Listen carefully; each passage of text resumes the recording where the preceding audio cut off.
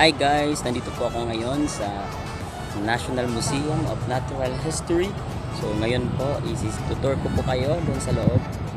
Uh, tsaka guys, napakahigpit, bawal pala dito yung uh, video. So pipicture na lang po ako at tsaka magkakataon video din po. So sabay po tayo guys.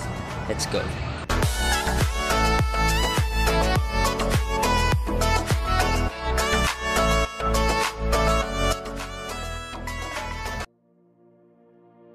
The National Museum of Natural History, pambansang museo na likas na kasaysayan.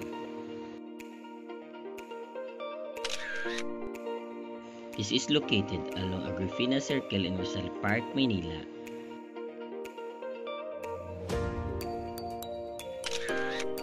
The building was designed by Filipino architect Antonio Toledo in the late 1930s.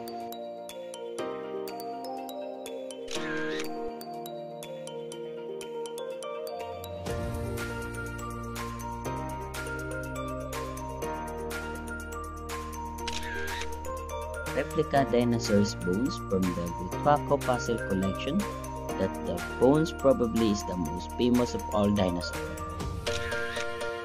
Ayun na po at tignan natin ang mga iba't ibang koleksyon ng National Museum.